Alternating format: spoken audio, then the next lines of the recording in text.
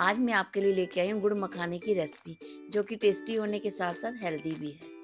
इसको बनाना बहुत ही आसान है। इसके लिए हमने 200 ग्राम मखाने लिए हैं 200 ग्राम ही गुड़ लिए। जब भी आप मखाने लो, मोटे मखाने लो। एक चम्मच हम देसी घी का डालेंगे और अपने मखानों को रोस्ट करेंगे।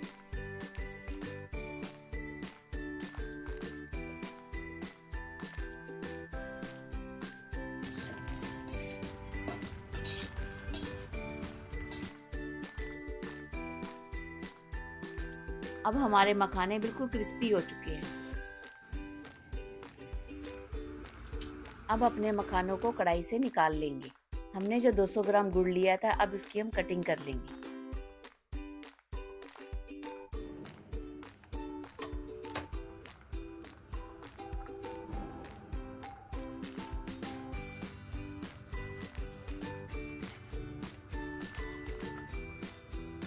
अब अपने हमने गुड़ की कटिंग कर ली है। अब गुड़ हमारा रेडी हो गया है।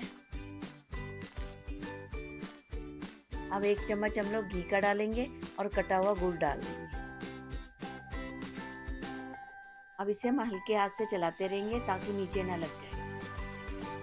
गुड़ को हम तब तक तक चलाते रहेंगे जब तक ये पिघल ना जाए।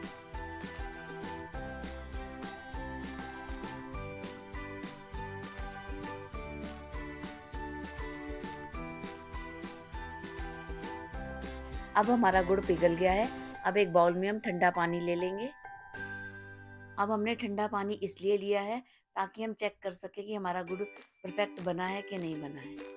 अब हमने जो बाउल पानी का लिया था, उसके अंदर हम एक दो ड्रॉप गुड़ की डालेंगे और चेक करेंगे कि वो टॉफ़ी की तरह टूट रहा है कि नहीं टूट रहा है। अब इसके अंदर हम लोग आधा चम्मच बेकिंग सोडे का डालेंगे। अब इसे अच्छे से चलाएँगे।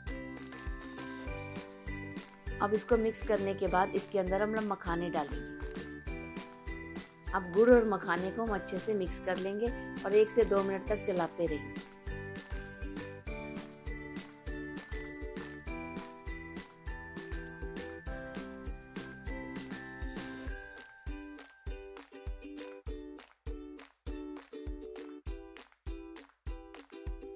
अब गुड़ और मखाने अच्छे से मिक्स हो गए हैं। आपको लग रहा होगा कि ये चिपक चिपक लग रहे हैं, और बाद में बिल्कुल ठीक हो जाएँगे।